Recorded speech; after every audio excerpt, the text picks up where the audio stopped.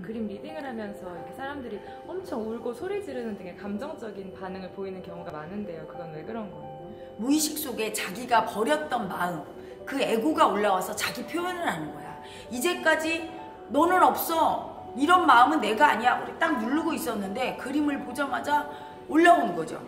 참았던 마음, 내가 억압했던 내 무의식 속의 마음들이 애고가 딱 올라와서 표현해요. 화도 내고 막 울기도 하고 아픔도 느끼고 수치스럽다고 하고 이렇게 반응을 하면서 치유가 일어나. 내가 그 마음을 인정해서 표현하고 반응할 때 온몸으로 발산이 되면서 치유가 일어나죠. 무의식의 정화가 일어나는 과정 중에 하나예요.